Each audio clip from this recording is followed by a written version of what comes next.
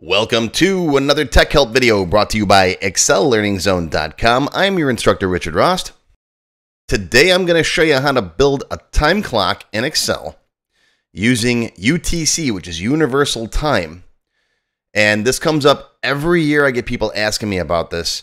With daylight savings time, if you're doing employee time clocks and the employee shift goes over the time change, how do you deal with that? And I go through this every year, so we're going to show you how to do it in Excel this year. This year's question comes from David in Tallahassee, Florida, one of my platinum members. David says, You created a video a couple years ago about daylight saving time. It's daylight saving time, by the way, people, not daylight savings time. Anyways, uh, and implementing it in Microsoft Access, which is what I do. Well, my employer still has us using an Excel spreadsheet to track clocking in and clocking out. Is there any way to achieve the same functionality in Excel, perhaps by associating it with a button that employees can click to clock in and out? Yes, David, absolutely. Pretty much any code that you can use in Access, you can use in Excel. I mean, there are some exceptions. Obviously, if it's if it's Access specific stuff like looking things up from a table, you can't do that. But most VBA that you can get to work in any of the Microsoft Office applications works in all of them. Now, what David is referring to is a video I did about three years ago about daylight saving time in Access, which is pretty much what I just mentioned. And in the video is pretty much the same thing. It was a question from Paul from New York about the same basic thing. You got clock shift, you got um, employees that work over that time shift. How do you calculate it? And I've got a previous video that shows you how to build a time clock, right? Employee loads up the time clock, picks their name, clock in, clock out, and that's pretty simple. But that's local time and if you know he clocks in at 1 a.m. and clocks out at 8 a.m., then you got a problem. So the way to solve this is to store UTC, which is Universal Time Coordinated. Basically Greenwich Mean Time. It's what they use on like the International Space Station and stuff, so everything runs smoothly. All right, so we had two more fields to the table, right? More fields to our time clock table, and then we save them in UTC time. Now, there's source code that you can get online. This comes straight from Microsoft, in fact, and I have a copy of it in my code vault, which is free for everybody, this particular function. And I'll give you a link to it in a minute. We'll walk you through installing it in Excel. But this is what basically goes out to your Windows system clock and says, hey, are you currently on DST or not? And then if so, it'll adjust based on your offset, right? Like I'm in Florida, which is Eastern time zone. So in standard time, we're minus five hours from UTC. And so this functionality can then determine what the current UTC is for your time zone. And like I said, this is code that we can install just fine in Excel as well. And so now finally, once all that's set, you clock in and it puts the UTC and the UTC out when you clock out. And it's pretty simple. So let's see how we do this in Excel. First of all, this is a developer level video. What does that mean? Well, we're going to need some VBA to accomplish this goal. Now, you'd think that Microsoft would add a function like UTC now, which exists in some other platforms. I think Power Automate has it or Power Query. But in Excel by itself, without those extra add-ins, you got to do it this way. Just like how we have to do it in Access. I'm not surprised that functions are missing from Access because Access is the red-headed stepchild, literally, of the Microsoft Office family but usually they give cool stuff to Excel first. So since we need some VBA to do this, if you've never done any VBA programming before, go watch this first. It teaches you how to get started with Excel VBA. You got to turn on the developer tab and some other stuff. Go watch this first. It'll teach you what you need to know to get started. Then come on back. All right, so here I am in Excel. We're going to create a basic timesheet. We got our name, and of course, you can make this as detailed as you want or not. Right, there's the clock in, which will store the local time in, the clock out, the UTC in and the UTC out. And then we'll calculate our hours worked based on the UTC time in and out, right? Let's make these a little bit bigger. Okay. I always like to add a splash of color when I'm working. Makes things go a little bit better if you can see things clearer, right? All right, so the way it's going to work is you put your name here, and you can make this a drop-down list if you want to. I've got whole other videos on making drop-down lists. And now you're going to want to click a button over here to clock in and then another button to clock out for this particular row. Okay, we'll get the current time, we'll put it there, and then we'll figure out what the UTC time is. Now, let's make the button first to just get the regular time. Let's go to our developer tab, we're going to click macros. Let's give the macro a name. Let's call it clock in. No spaces. And then click create. The VB window opens up. We're now in module one, clock in right here. Okay. Now I want to say whatever row I'm currently in, whatever row I'm in, right? In column B, put the current time, current date time technically. So we're going to say range, and that's going to be B and active cell dot row. That's the row that you're in. Dot value equals now. Okay, that's the active cell dot row. So the row goes here in column B. And while we're at it, let's format it the way we want. Now, I like universal time. I like the ISO date time format. If you want to learn more about that, here's a video I did. It's basically year, month, day. It's completely unambiguous, so anyone anywhere in the world knows what it is. I'm on a mission to change everyone to using this time format and to getting rid of daylight saving time. I hate I hate daylight saving time. Okay. So we're going to say that same cell dot number format equals, and what do you want to format it as? YYYY dash MM dash DD space HH colon MM, like that. Now, my access people, where are the access people in the house? Access people know that in access we have to use N for minute because M is already used for month, but in Excel it's different. In Excel, they this for backward compatibility, so they use M as well. Excel is smart enough to know that if it's paired with the H, use minutes. I know it's dumb. Okay, so that's going to put the current date time in that cell and set the number format. Okay, now let's make a button and assign that to this macro. So save that. All right, now we got to save this file. You can see all the other Excel videos I've done in here. Um, you got to save this guy as an XLSM file, a macro enabled file. Otherwise, your code won't run.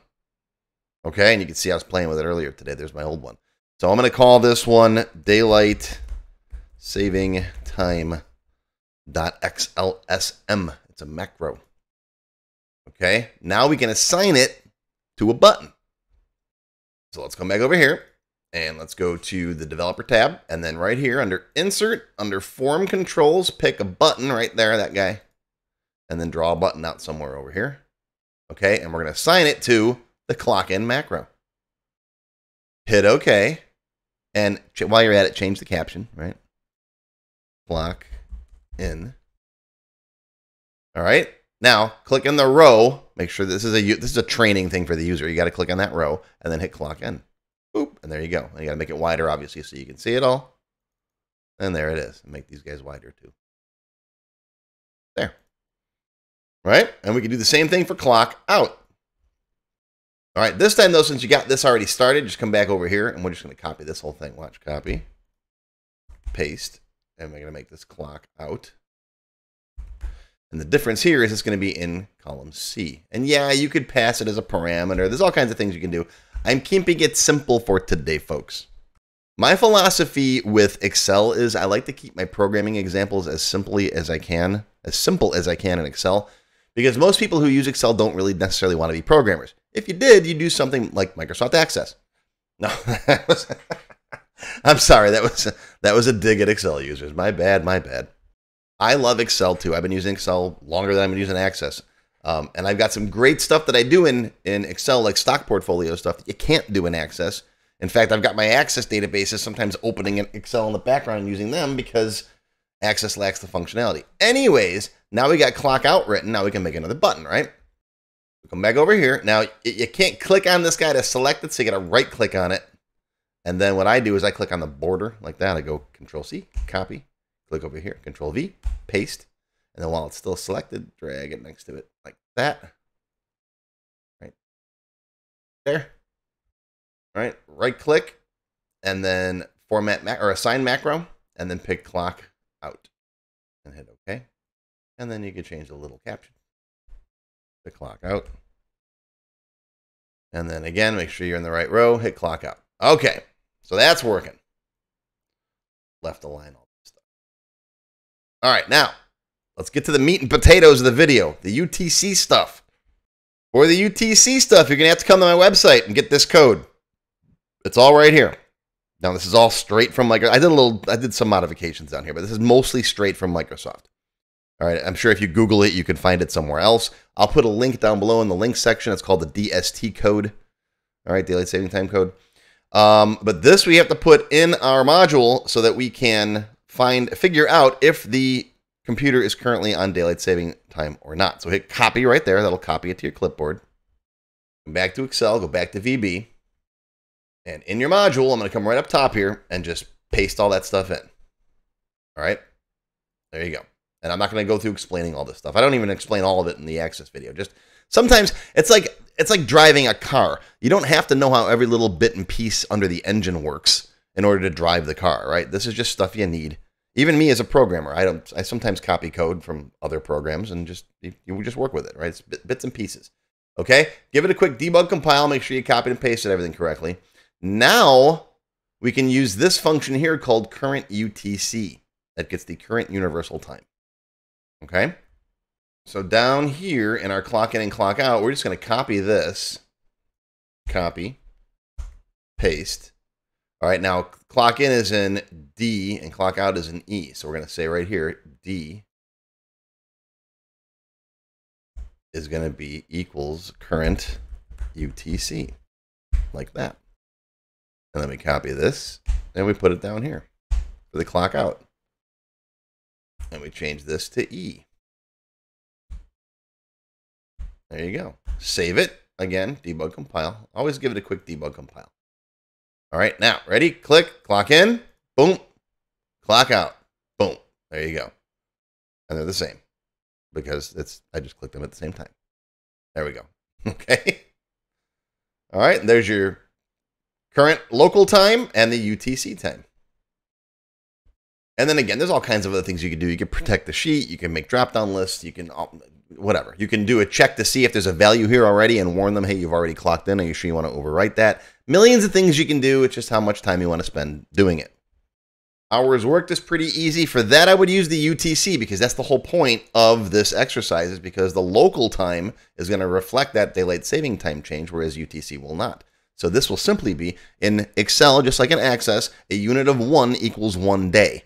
So to figure out the hours worked, it's going to be equals in parentheses, time out minus time in, right? Because the more recent value is going to be higher. And then we have to, that, that's in days. So now we have to multiply that by 24 to get hours. And there's your number of hours worked.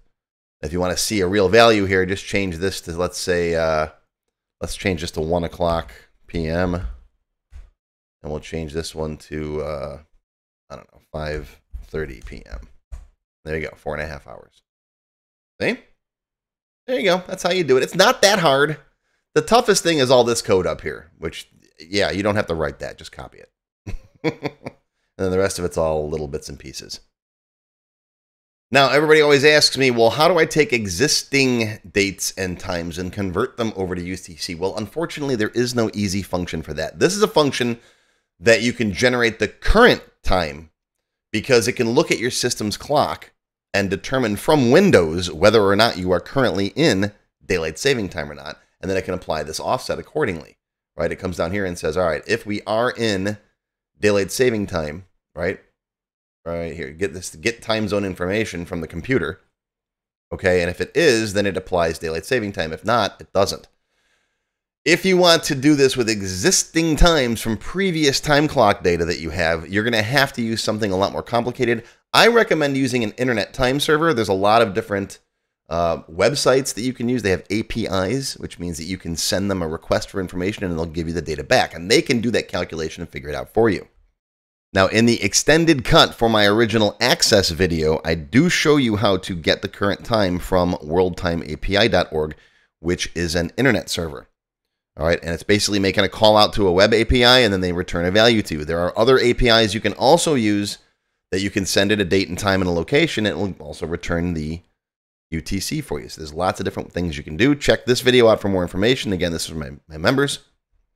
If you want to learn more uh, about things like those drop down menus and stuff that I talked about, my Excel Expert Level 10 class, I cover making custom drop down lists and all kinds of other stuff. Lots and lots of Excel lessons on my website. I'm currently in the process of updating them.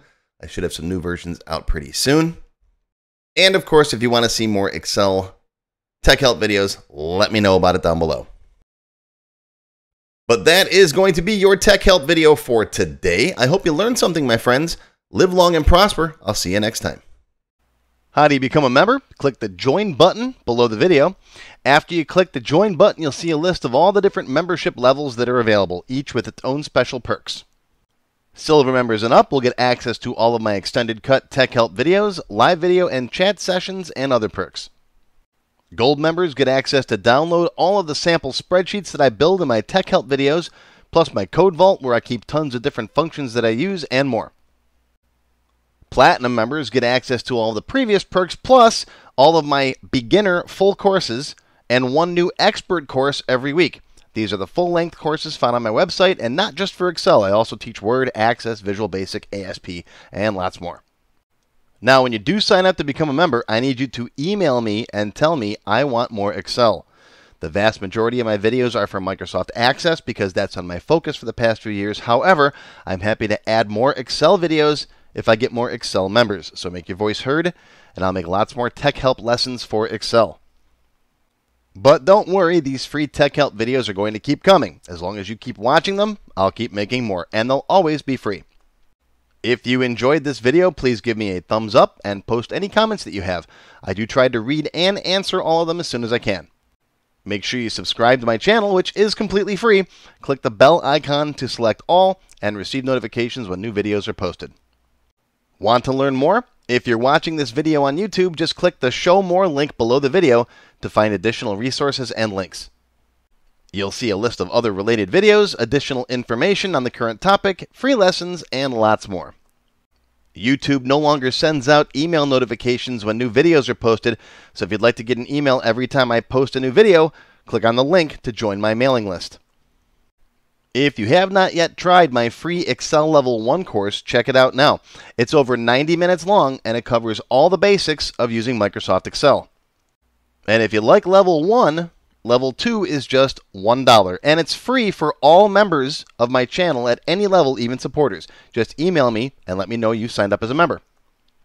Want to have your question answered in a video just like this one? Visit my tech help page and you can send me your question there. And while you're on my website, be sure to stop by and check out my Excel forum. Be sure to follow my blog, and of course, you can find me on Twitter and YouTube. And as always, thanks for learning with ExcelLearningZone.com. I'm Richard Rost. See you next time.